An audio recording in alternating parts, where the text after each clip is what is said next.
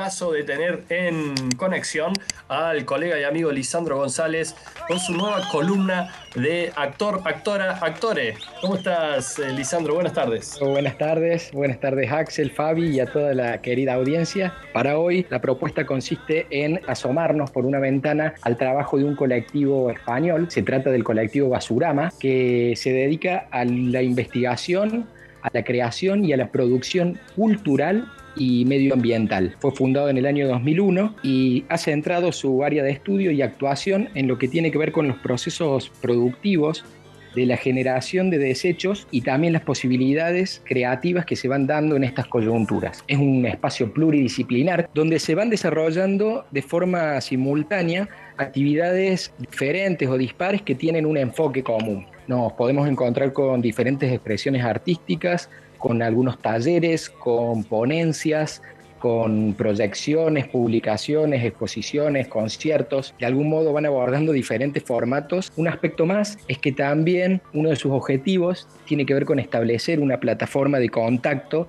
y de encuentro entre diferentes personajes del entramado social.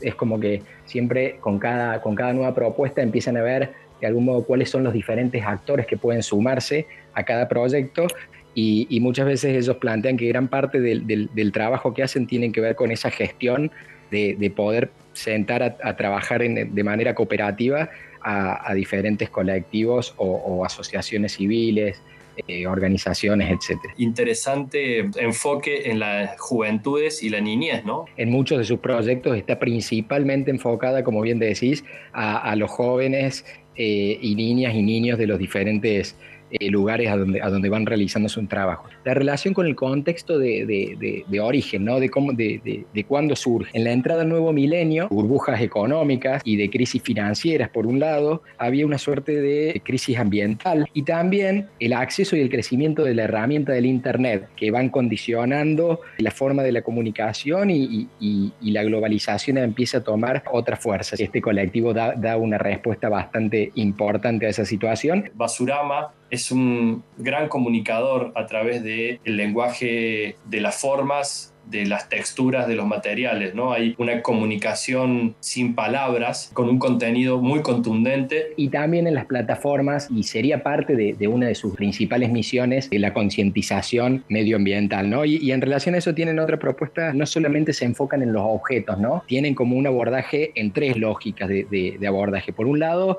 los residuos de los objetos, que son, como bien sabemos, estos productos que de algún modo eh, la función, la vida útil eh, se ha terminado y, dejan de tener sentido en eh, la sociedad de consumo. ¿no? Hay una gran crítica también a todo lo que es la, sociedad de consumo, el neoliberalismo y el, capitalismo de explotación en el que vivimos.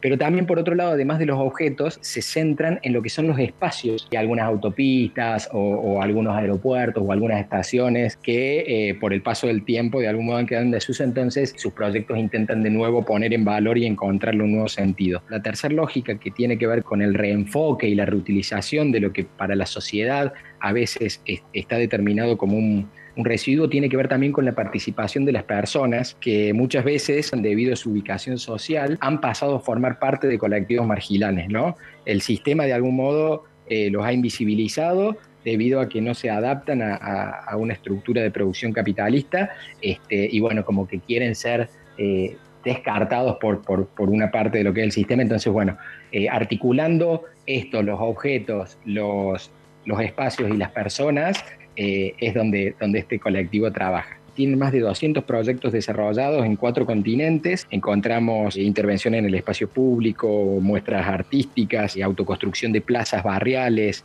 generación de objetos también, talleres de construcción colectiva de carros de transporte, por ejemplo, exploraciones materiales. Hay uno que es muy interesante que es el RUS. Se llaman RUS porque es residuos, residuos urbanos sólidos. Es como un proyecto itinerante que lo hicieron en muchas ciudades. Incluso aquí en Córdoba también tuvieron la oportunidad de articularse con organizaciones de, tejedoras y otras organizaciones sociales hicieron un proyecto. El que se hizo en Lima tiene la particularidad que lo articularon con la reutilización de una vía de, de un tren eléctrico que estaba abandonada. De la mano del arquitecto Lisandro González. Un fuerte abrazo, amigo. ¿eh?